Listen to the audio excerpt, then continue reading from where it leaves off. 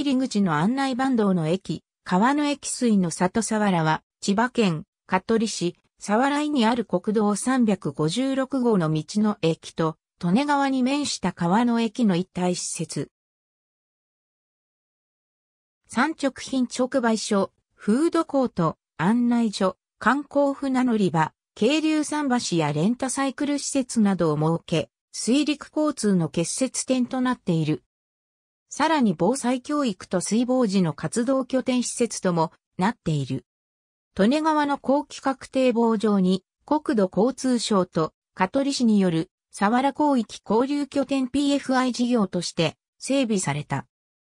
沢原広域交流拠点 PFI 事業の施設としては、道の駅、川の駅、浸水、湿地利用ゾーンがあり、これらの施設名として、水の里沢原の名称を使用している。道の駅としては、千葉県で21カ所目であるが、道の駅と川の駅が一体となった施設は、日本全国的に見ても稀である。国道356号と水の里沢原水の里沢原から見た利根川水辺に設置された観察用通路を利用して湿地に集う動植物の観察を行うことができる広報級。沢原広域交流拠点 PFI 事業の下で建設された国土交通省直轄河川事業 PFI としては初の試みである。PFI 事業の道の駅、川の駅、浸水、湿地利用ゾーンは国と香取市が共同で事業を行っている。国と地方自治体が共同で行う PFI 事業としては全国で2例目となる事例である。水の里沢原全体での機能及び施設の位置づけは以下のようになっている。広報10。運営は本事業のみを目的とした特別目的会社である PFI サワラリバー株式会社が行っている。PFI 事業契約に関しては、国と香取市の間で一本化され、国と SPC の間で締結されている。また、市の施設に関しては、別途、市と SPC との間で、維持管理、運営業務委託契約を結んでいる。さらに、国、市、SPC の3社で覚書を締結している。本 PFI 事業は BTO 方式をとっている。すなわち SPC は施設を建設後、それを国へと引き渡す。国は引き渡された施設のうち、香取市に関わる部分は市に引き渡す。引き渡し完了後、SPC は施設の維持管理や運営を行う広報11。国と香取市は施設を引き渡された後、SPC に施設の整備費用や維持管理などに関わる費用を支払う。SPC はさらに、物販、飲食施設の売り上げの一部や、その他施設の利用料などを収入とする。ただし、物販施設の売り上げの一部は施設使用料として、SPC から香取市に支払われる広報12。その他の概要は、右表の通りである。江戸時代、サハラは利根川を利用した江戸と地方を結ぶ水運の中継地としての役割を持ち、利根川下流地域を代表する都市として発展を遂げた。特に、小野川流域は繁栄を極め、江戸勝りとも呼ばれた。明治になり、鉄道が開通した後も、沢原駅は米などの流通の集積地となりしばらく発展を続けた。しかし、周運の衰退とモータリゼーションの進行、1970年代以降の郊外の大規模なロードサイドショップの出現などが原因で、やがて駅前の商店街は衰退し、かつての沢原の中心部であった沢原駅周辺は人を引きつける力を失っていった基本計画1。一方、小野川沿いの街並みは江戸から昭和初期にかけての建物が残り、1996年には関東地方で初めて重要伝統的建造物群保存地区の認定を受け、観光客が訪れるようになった。しかし一方で、その沢原の街並みも、道幅が狭く駐車場が少ないといった課題を抱えていた。利根川の工事で使用された発動機線。このように、かつて、利根川下流資料室に屋外展示されていた建設機械は、現在では水の里沢原施設内の屋外、または室内にて展示されている。現在の香取市が立地している利根川下流域は、利根川の上流などで大雨が降ると洪水の危険性があり、実際江戸時代からたびたび水害に見舞われていた広報13。そこで国は利根川の氾濫による水害を防ぐため、人や資産の集まった低平地などを対象に高規格堤防整備事業に取り掛かった。沢原の元宿高知地区もその対象区域となり、1999年度から事業を行った広報14。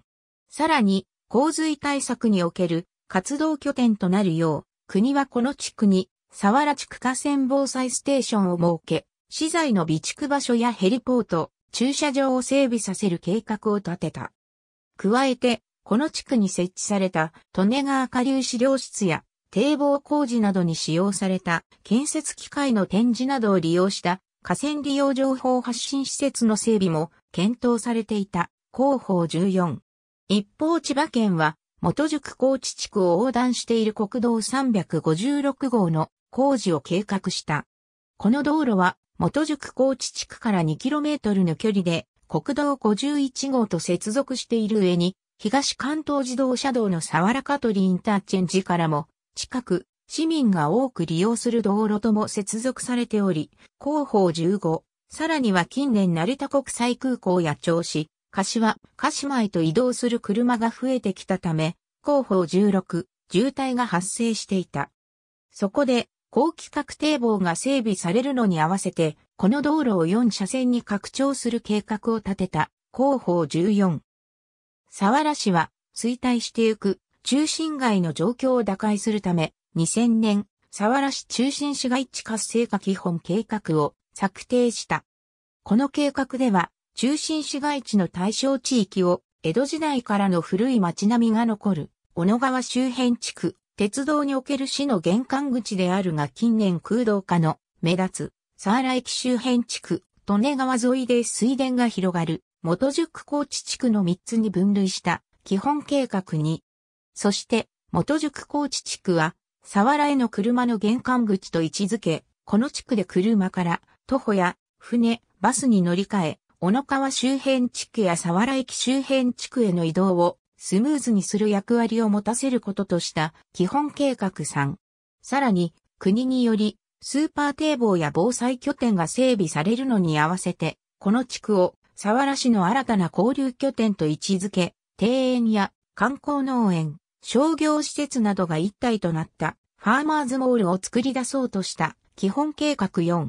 そしてこういった計画の中の一つとして、道の駅及び川の駅を整備する計画が組み込まれた基本計画5。2004年10月、国、県、市はこれらの施設を共同で作るための委員会を設け、2005年12月に、沢原広域交流拠点整備事業基本計画を策定した広報17。この基本計画に基づいて、2006年3月から検討を行った結果、国と市が共同で取り組むことができ、さらに民間の資金やノウハウが活用できることから、PFI 事業手法を取り入れることに決めた、広報18。2007年5月には、沢原広域、交流拠点 PFI 事業実施方針が公表された広報17。民間事業者の募集は2007年10月に、利根川下流河川事務所のサイト上で公開され、2グループの応募があった。しかしそのうちの1グループは入札価格が予定価格を上回ったため、審査の結果、2008年4月、東洋建設を代表とする東洋グループを落札者とすることが決定された。広報19。設計、工事作業は2008年7月に始められた。2009年3月6日には、起工式が挙行され、香取神宮による安全祈願が行われた。広報20。2009年1月、沢原広域交流拠点の名称が募集され、広報21、4月、1700の応募の中から、水の里沢原が選ばれた、広報22。工事は2010年2月に完了し、3月1日、国土交通省から正式に道の駅の認定を受けた、広報23。開業日の3月27日は、香取市長をはじめ200人以上の関係者が集まり、式典を行った。式典後は、地元の小学校の児童による古敵演奏、沢原の大祭で使用される出し4台の引き回し及び、総踊りなどが披露された、広報24。当日、施設内は人で溢れ、道の駅では一時入場規制が敷かれるほどであった。2010年8月28日に、祭り飲水の里2010を開催、広報25、9月には初の収穫祭が開催された、広報26。また9月には川の駅内に喫茶店が開業した。2011年3月11日に発生した東日本大震災において、本施設の敷地内では地割れや地盤沈下が発生し、報告書1、一部施設は営業を中止した。一方で、帰宅困難者のために施設の開放も行った。また、3月12日から予定されていた開業1周年イベントは中止となった広報27。2011年5月から6月にかけて来場200万人突破感謝祭を行った広報28。元宿高知地区。左端に見える建物が水の里沢原。右に見える線路は JR 成田線で手前方向に沢原駅がある。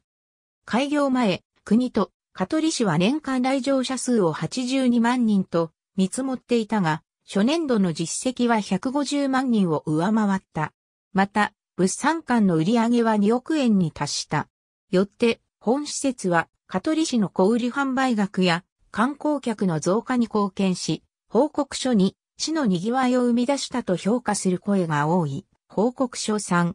市内の他地区への影響については、新たな店舗の開店に寄与したと、好意的な見解がある一方で、同の駅の登場は、沢原駅周辺の人通りの減少や個人商店の経営状態の悪化につながったとの見解も存在する基本計画6。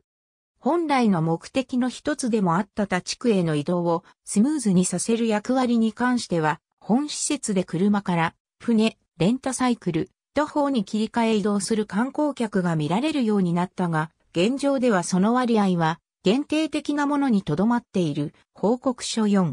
また、周運での輸送能力には限りがあり、徒歩で移動できるような安全な道路も確保されていないといった問題点も指摘されている報告書5。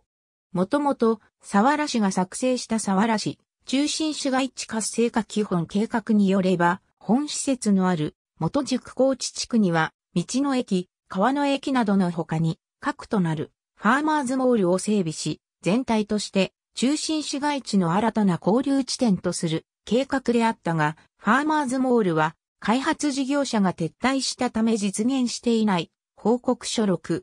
また、元宿高知地区は現在都市計画白地地域、農業振興地域に指定されており、中心市街地とするには難しい状況となっている報告書7。そのため、本地区の今後のあり方についての検討を求める声も上がっている報告書8。普通、主様とカトリーヌ、妹子。川の駅の総合案内所にて、2011年6月に水の里沢原出荷者協議会によって選定された夜、キャラ、普通主様とカトリーヌ、妹子が存在する。普通、主様はもともとカトリシ職員が米の販売促進のために作り出したキャラクターで、カトリ神宮の祭り神経痛主神が由来となっている。当初は普通、お主君と名乗っていたが、後に呼び名が変更された。カトリーヌ、妹子はもともと特産品のさつまいもを PR するために、市民の女性による団体、沢原おかみ3回のメンバーの手によって作られたもので、ある。祭り飲水の里を毎年開催し、ベイフム公開録音の野外ライブや花火の打ち上げなどを行っている広報29。このほか、過去には大収穫祭やサンマ祭りなどのイベントも行った。基本計画、編集報告書、編集広報資料、プレスリリースなど一時資料、編集道の駅水の里沢原に関するカテゴリー。ありがとうございます。